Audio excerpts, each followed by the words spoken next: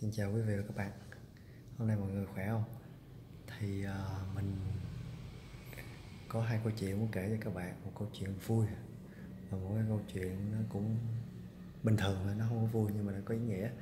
Thì uh, mình kể cho các bạn nghe một câu chuyện vui trước nha. Thì câu chuyện vui nó diễn ra như thế này. Câu chuyện này câu chuyện có thật. Mình mới nghe ngày hôm qua. Thì hôm qua mình có đi ra một cái công trình Thì mình nghe cái anh giám đốc đó, anh nói với lại một người à, nhân viên của anh. Thì anh nói là hôm qua anh nói như thế này nè hôm qua có cái thằng ngu nào đó nó xuống đây nó làm việc cái chỗ này nè nó chỉ nó chỉ cho tụi bay làm mà sau bữa nay nó ra hư sự như thế này. Thì à, thằng đó là ai? Nói cho tao biết. Thì um, cái ông chủ nhà đó đứng sau lưng anh á. Ông kêu ờ, thằng ngu đứng sau lưng anh à. nè đó các bạn cái sau anh giám đốc này giám đốc cái công trình đó cái project manager. Ông giám đốc dự án quay lại nói thôi xin lỗi anh xin lỗi đó các bạn những cái câu chuyện như thế này rồi xong rồi nó sẽ sẽ không có đi vào đâu á mà nó lại làm nó sẽ làm cho những cái mối quan hệ nó không tốt các bạn mình biết người ta làm sai hay làm không có đúng cái kiểu đó, nhưng mà khi người chủ nhà người ta tới, người ta nói những người công nhân, khi mà không có cái người quản lý ở đó, thì họ nói sao thì công nhân nó nghe, nó phải làm theo thôi. Trừ khi bạn không không nói cho công nhân là không được phép nghe lời những cái người đó, hoặc là những cái người đó người ta phải thông qua bạn trước khi người ta nói chuyện với công nhân, hoặc họ không được quyền trực tiếp nói chuyện với công nhân. Tại vì bạn là project manager khi mà họ nói chuyện với công nhân như vậy thì coi như là họ cũng không coi bạn là gì hết. Đó là câu chuyện nhất. Bạn hãy phân quyền trong những cái cấp độ làm việc khác nhau.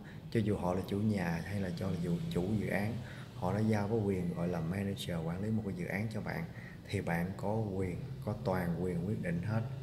Nhưng mà cái vấn đề ở đây á, là cái đó là cái điều chắc chắn là có rồi.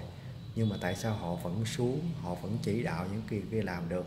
Có nghĩa là cái quyền hạn của họ nó cao quá hay sao? Hay là bạn không có tiếng nói trong cái việc này? Thôi, mình không mình bỏ qua cái vấn đề đó đi ha. Bây giờ mình chỉ bàn cái vấn đề đắc nhân tâm trong cái việc này thôi. Thì khi mà bạn chỉ trích một ai đó, thì bạn hãy chắc chắn một điều, cái người bạn chỉ trích đó, nó chính xác là cái người đó bạn biết ở trong đầu bạn người đó lại bạn đừng có đoán, tại vì bạn đoán thế nào nó cũng có phần sai trong đó. Đúng không các bạn? Khi mà bạn đoán cho sai, thay vì bạn nói như vậy, bạn sẽ nói như thế này ngày hôm qua, khi không có mặt tôi ở đây hay không có mặt mình ở đây, ai là người chỉ đạo cho anh em, ai là người làm cái công việc này mà để nó ra cái sự cố như thế này? Thì anh em sẽ nói, hoặc là cái người chủ dự án đó, người ta nói tôi là người chỉ cho các bạn làm ngày hôm qua, hay là cái đó nó nhỏ thôi, các bạn, nó không có lớn. Nhưng cái vấn, nếu mà ngày hôm qua thì còn sửa được, còn nếu mà nó to quá, nó cách đây một tháng rồi là hơi mệt. Còn nếu mà cách đây một tháng mà nó cái chồng chồng những dự án khác lên đó, thì nó rất sự cố rất là lớn. Bởi vì cái người project manager phải luôn luôn phải có mặt đó. Khi mà người ta người tới tới người ta làm sai nó có vấn đề của bạn là phải biết ai là người làm ra nguyên nhân sai. Và hãy nói chuyện trực tiếp với người đó để người ta sửa nói. Nếu mà cái người chủ dự án sai thì mình bạn nói nhỏ nhẹ với người đó cái việc này là của em hãy để cho em làm. Hoặc là cái người công nhân người ta làm sai thì nói là em đã làm sai cái việc đó rồi, lần sau em không nên làm sai nữa. Nếu em làm sai nữa thì cái này là cái việc em phải trả cho cái hậu quả của em việc làm sai như vậy. Đó. Bạn chỉ cần nói vậy thôi, đừng có nóng tính. Nếu mà bạn nóng tính lên, có thể là giải quyết được cái vấn đề đó, nhưng mà về sau hậu quả của nó nó phiền phức lắm. Gặp cái người chủ dự án kia nó nổi điên lên, nó cho bạn lên đường luôn, thì mệt bạn. Rồi, đó là câu chuyện cười thứ nhất. Mình thấy rất là cười. Hôm qua mình đứng kế bên mà mình mình đang kế bên mình cũng rất là mất cười. Mình cái cười tủm tỉm biết ông kêu đứng kế bên mình mà mặt ổng nó đỏ lên, mà nó, ổng bực mình lắm. Mà ổng không có nói được câu nào hết. Cuối cùng nói, tôi nè. Đó có những người khác người ta sẽ im luôn á các bạn. Người ta sẽ không nói.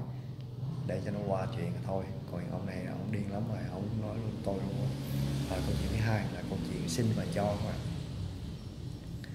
Thì các bạn biết rồi đó khi mà bạn đi vào chùa thì bạn sẽ xin đi lễ Phật, đúng không? Khi mà bạn đi vào nhà thờ thì bạn xin Chúa hoặc là xin Đức Mẹ Maria. Đây, Chúa ở đây nè. Đức Mẹ cũng ở đây luôn. Đây, gia đình thánh gia nè mà rồi. Thì bây giờ như thế nào? Khi bạn tới bạn xin á, thì bạn xin cho được học giỏi nè, xin cho được đỗ đạt thành công nè, xin cho được có công ăn việc làm nè rồi có thể các bạn ra khởi nghiệp xin được công việc kinh doanh của bạn được thuận thuận buồm xuôi gió xin cho được khởi nghiệp nó nó, nó gọi là nó trơn tru. Và xin xin rồi khi mà có gia đình á xin có vợ đẹp nè hoặc là xin có chồng giỏi nè xin cho được có con ngoan nè con đẹp nè rồi xin cho được uh, kinh doanh thành công để mua nhà mua cửa hoặc đi làm cho nó lương cao mua nhà mua cửa rồi nhà lầu xe hơi rồi nói chung xin nhiều lắm. Các bạn khi bạn có cái bọc có túi như vậy nè các bàn tay bạn xin á, xin nhiều quá thì sao các bạn? Nó nặng lắm bạn xin nhiều quá nó nặng nó nặng nó sẽ kéo bạn xuống. Nó nặng nó kéo bạn xuống. Và cái người mà cho bạn á là cái đấng tối cao ở trên đây nè. Đó. Nếu bạn nào thờ những cái đạo khác những cái giống như đạo tinh lành hoặc là đạo uh, đạo uh, đạo hồi giáo rồi những cái đạo khác thì bạn thờ những cái đấng nào của bạn rồi sau đó thì uh, đạo cao đài thì thờ chúa rồi thờ phật rồi thờ luôn cổng nho rồi mấy cái đạo đó ờ, những cái đạo khác nữa các bạn. Thì bạn xin á thì bạn xin thì người ta cho người ta cho thì sao? Người ta cho thì cái trên tay trong tay người ta có rất là nhiều. Mày xin tới đâu người ta cho? Cho nè. Xin xin được học giỏi đúng không? Cho học giỏi. Xin được uh, thành công. Cho thành công đỗ đạt xin được có công an việc làm. Cho công an việc làm. Xin được kinh doanh khởi nghiệp thành công. Cho hết. Cho thì khi người ta nhẹ người ta sẽ bay lên. À, người ta bay lên người ta trở thành càng ngày người ta càng càng bay bổng người ta càng càng thánh thiện hơn rồi người ta càng nhiều thứ lắm các bạn. Khi mà bạn xin á, thì người ta sẽ cho.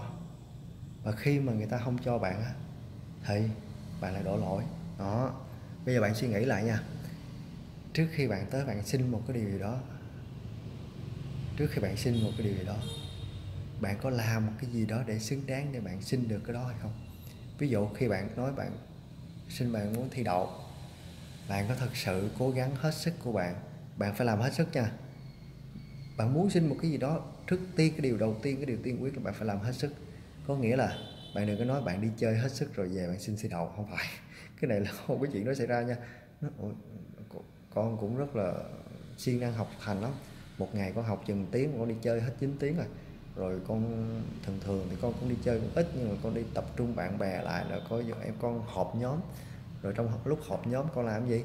Trong lúc họp nhóm thì con ờ, đi hát karaoke hoặc là con đi ờ, câu cá. Thì con đi dã ngoại rồi con giao lưu bạn bè rồi. Rồi đó như vậy thì không phải các bạn bạn phải thật sự học thật sự cố gắng. Thì như vậy xin thì người ta mới mới còn có thể là chấp nhận được. Và nhiều bạn á, cứ nghĩ là mình đi xin mà may mắn mình có được như vậy làm sao mà cái chuyện đó đó các bạn?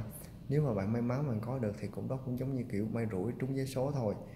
Còn cái việc học nó không, và cái việc làm nó không có may mắn được các bạn. Các bạn thử nghĩ đi, ở ngoài kia có rất nhiều người học.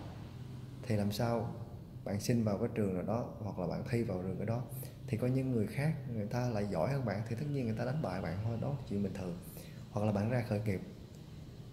Bạn nghĩ bạn ra khởi nghiệp, bạn không học gì hết mà bạn thành công mà ở ngoài kia có rất là nhiều người ta người ta đã khởi nghiệp thất bại nhiều lần rồi. Thì bây giờ người ta đứng lên, người ta mạnh mẽ các bạn? Và nhiều khi ở ngoài kia người ta có, người ta khởi nghiệp, có những người đứng sau, cổ vũ cho họ. Có những gia đình người ta ủng hộ họ. Và có những người thầy, những người cố vấn ở đằng sau người ta đẩy họ đi.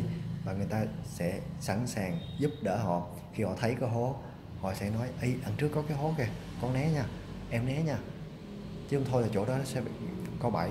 Và khi mà em không kiếm được khách hàng, cái cách này sẽ kiếm được khách hàng nè. Đó, người ta sẽ chỉ cho những cái người khách hàng đó.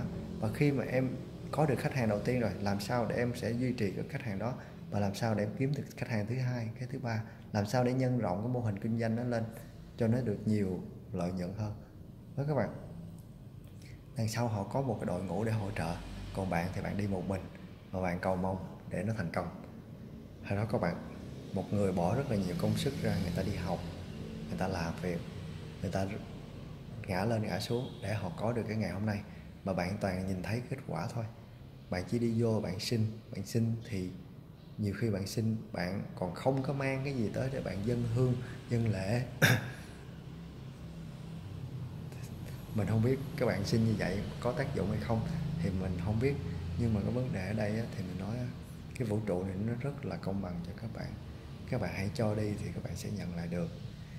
Nhiều khi cái phúc của các bạn nó vẫn còn. Cái phước á, phước đức á, thì nó sẽ may mắn hoặc là cái ờ, cái nhiều cái việc may mắn nó sẽ đến cho cuộc đời của các bạn. Nhưng mà khi các bạn sử dụng cái đó nó cũng giống như cái quỹ ngân hàng tiền ở trong ngân hàng của các bạn các bạn tích đức từ kiếp trước nó giữ trong ngân hàng cho các bạn. Đến một lúc nào đó nó sẽ hết cái quỹ đó thì các bạn nghĩ đi kiếp sau của các bạn ai sẽ là người tích cái đó để cho kiếp sau. Còn nhiều bạn nói mình thôi, không quan tâm tới chuyện đó. Rồi ok. Bạn không quan tâm cũng được, nhưng mà bây giờ mình quay trở lại cái câu chuyện ngày hôm nay đi. Bạn không cho thì bạn sẽ không bao giờ nhận được. Đó là cái câu khẳng định của mình luôn. Bạn cứ sống ích kỷ đi, thì bạn sẽ nhận được những cái ích kỷ khác của người khác đưa cho bạn.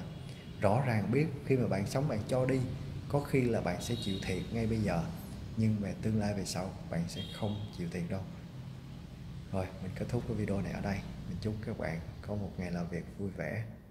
Và mình hy vọng là các bạn nghe được hai câu chuyện này. Câu chuyện thứ nhất, nó sẽ giúp cho các bạn điều gì?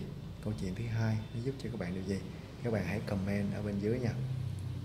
Coi các bạn có nhận ra cái điều mà mình, cái điều mà mình muốn các bạn các bạn nhận ra hay không? Còn những cái nó còn sâu thẳm ở trong những câu chuyện như vậy á các bạn nào nhận ra thì các bạn hãy comment bên dưới cho mình biết nha. Rồi, xin chào và hẹn gặp lại các bạn.